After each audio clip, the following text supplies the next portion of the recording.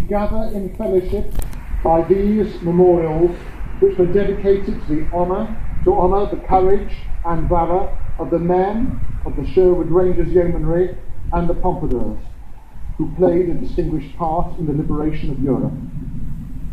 These memorials are powerful reminders for all time of our common responsibility to work and pray for the coming of God's kingdom of peace and justice, guided by the words our Saviour has taught us, praying together.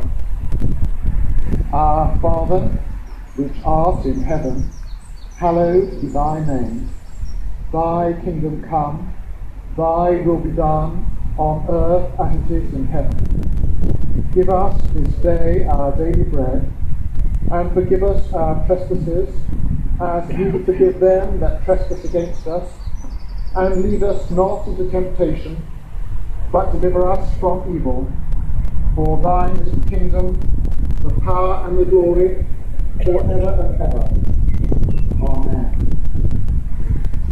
Today's hymns were chosen with care, and in our first hymn you will notice the reference of Come Wind, Come Weather. We stand to sing.